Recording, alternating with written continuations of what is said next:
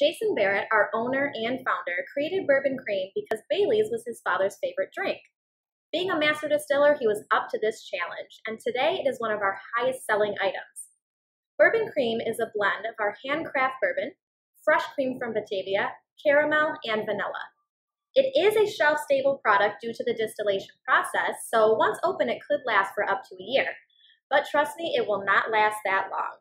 You could simply put this in your coffee, drink it neat or on the rocks, or shake it up in your favorite cocktail. One of our most popular cocktails is a root beer float. Now, when mixing bourbon cream with anything, make sure you get it nice and cold first. For a root beer float, you would mix ice with two ounces of bourbon cream and then slowly top with your favorite root beer. You can find this recipe and more at blackbuttondistilling.com.